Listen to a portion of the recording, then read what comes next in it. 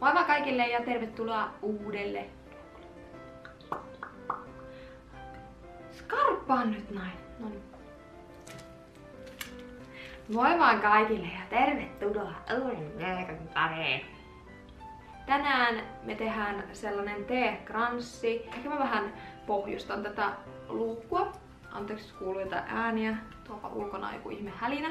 Mä tein kaksi vuotta sitten muistaakseni siihen mun joulukalenteriin sellaisen karkkikuusen. Voin olla väärässä. Mä ainakin siihen mun vanhaan blogiin tehnyt sellaisen karkkikuusen. Mulla oli tarkoitus tehdä T6, mutta Mä en löytänyt sitä mun vanhaa styroksi kolmio, mihin mä aiemmin tehnyt niitä kuusia. Ja mä en myöskään löytänyt kaupasta sitä nyt tähän hätään. Mutta mä löysin tämmösiä styroksikransseja, mitkä käy ihan yhtä hyvin askartelun, eli näihin ihan voi laittaa ihan mitä vaan.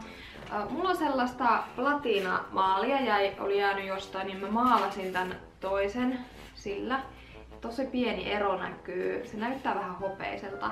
Mutta mä halusin maalata siihen vähän tuollaista kiiltoa sen takia, että kun siihen tulee niitä teepusseja päälle, että jos ää, tää renkula näkyy sieltä alta, niin se ei ole tommonen kirkkavalkoinen. Sitten mulla on tämmönen vihreä tee-lajitelma ja muumitee lajitelma. Mä haluan mahdollisimman vihreitä sävyjä.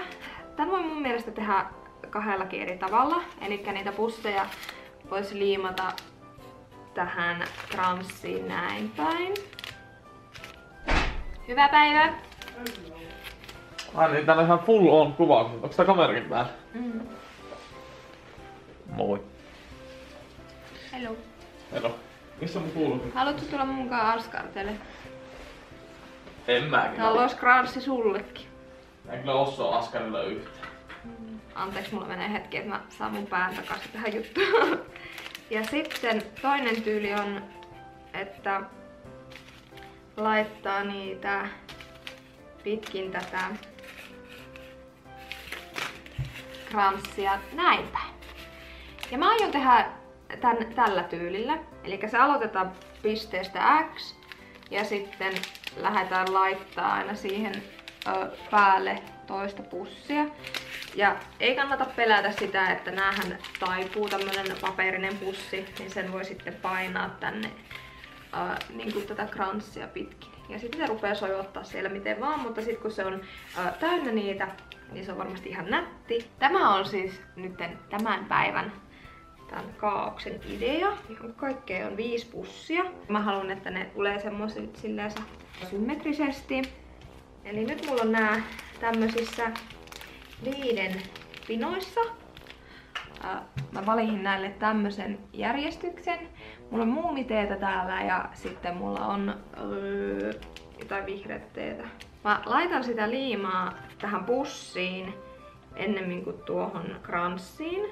Mä laitan sitä vaan tuohon avattava osaan ja sitten mä painan sen kiinni tänne. Mitenkäs tää, kun tässä on vähän erilainen? About samalla tavalla yritellään. Siinä on kolme. Alkaa öö, näkyy se, mitä mä tällä haen takaa. Please, tarkenna. Tarkennikas. Ja jatketaan vaan tälleen koko tää kehikko ympäri. Mun on kyllä annettava itselleni niin kuin taputus olalle, koska mä en oo nähnyt kenenkään tekevän tällaista, vaan mä sain tän idean ihan kaupassa, kun mä en löytänyt muuta styroksi juttuja. Ja mä on, olen varma, että joku on jo tehnyt tän ö, ennen minua, mutta kuitenkin mä niinku tavallaan mäkin keksin tän.